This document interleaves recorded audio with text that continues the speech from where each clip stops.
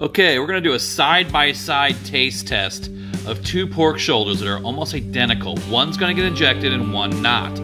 This one, they're both gonna get a carve along the top to make a crisscross pattern in the fat, which adds more surface area.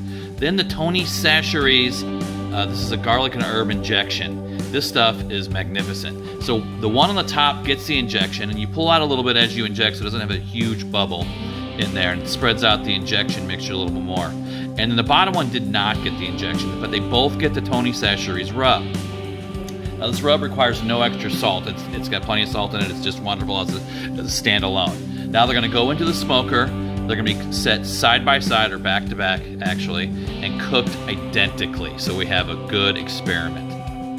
They get a spritz of some apple juice uh, periodically throughout the cook, and there's a water pan in there. Then at 167 degrees, they go into the peach butcher paper. And butcher paper allows for them to breathe and at the same time hyper accelerates the breakdown of connective tissues. And then um, this actually helps push the stall faster, but it also has better bark with the paper as opposed to say foil. Once they hit 203, they came out and went into a cooler. They were in the cooler each for at least an hour. Then we pulled them out of the cooler, put them in a side-by-side -side pan to, to compare and contrast.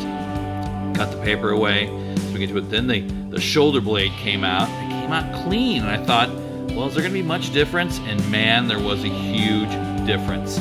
The when we started to pull them apart, the one on the top there is the one that was injected with the Tony Chachere's garlic and herb. The one on the bottom wasn't. And it at first it was tender, but as I got into the center, it was pretty tough and it wasn't nearly as as juicy. And then watch it. I squeeze. That's a piece from the bottom one that did not get injected. And this one, yeah, that one just kind of explodes right there uh, because it's so tender.